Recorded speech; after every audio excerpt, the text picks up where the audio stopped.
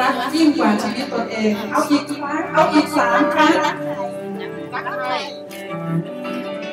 คุยกับเข้ากับรักชีวิตตัวเองครับ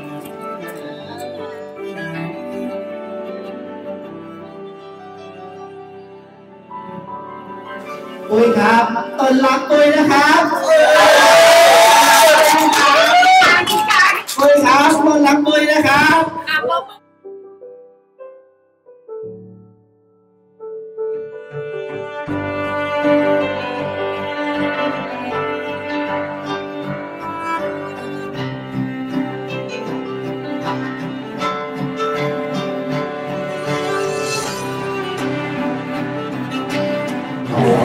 อนุญาตคุณพ่อคุณแม่ ขอมาเป็นลูกเขยเป็นพ่อคุณแม่นะครับ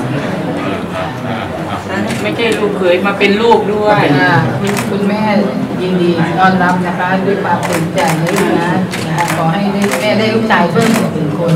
นะคะขอให้ดูแลคุณนะคะให้มีสุขนะคะมีความสุขความเจริญ